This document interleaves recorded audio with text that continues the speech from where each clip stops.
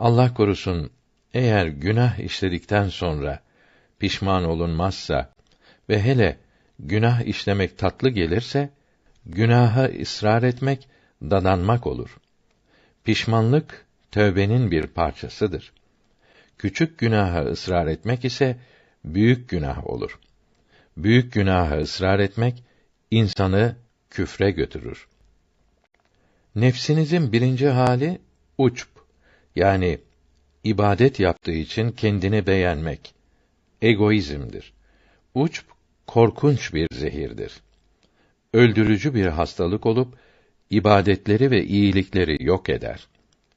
Ateşin odunu yakması gibidir. Bunun ilacı iyi işlerini kusurlu görmeli, bunlardaki gizli çirkinlikleri düşünmeli, böylece kendinin ve ibadetlerinin kusurlu, bozuk olduğunu anlamalıdır. Hatta onları beğenilmeyecek, kovulacak bir halde bulmalıdır.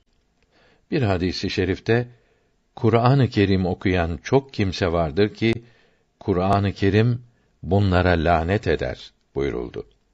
Başka bir hadisi şerifte oruç tutan çok kimse vardır ki onların orucu yalnız açlık ve susuzluk çekmek olur buyuruldu. İnsan ibadetinin, iyiliğinin çirkin tarafı olmadığını sanmamalıdır. Biraz incelenirse Allahü Teala'nın yardımıyla hepsini çirkin bulur. Güzelliğin kokusunu bile duymaz. Böyle kimse de uçp hasıl olabilir mi? Nefs kendini beğenebilir mi? Bir kimse amellerini, ibadetlerini kusurlu görünce bunların kıymeti artar. Kabul edilmeye layık olurlar. İyiliklerinizi böyle görmeye ve uçp, egoizm hasıl olmamasına çalışınız. Yoksa sonu çok kötü olur.